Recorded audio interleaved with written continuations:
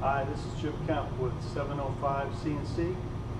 Saw a video last night of Nerdly with his uh, TRT 160, and he had an air leak problem.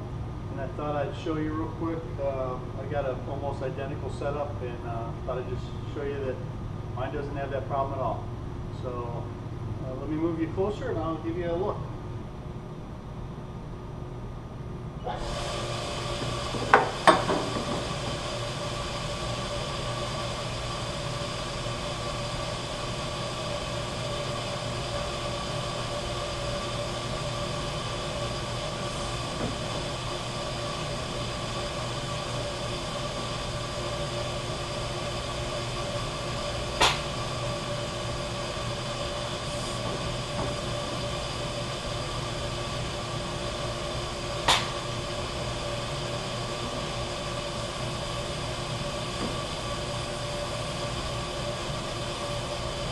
Nope, no leaks at all that I can see.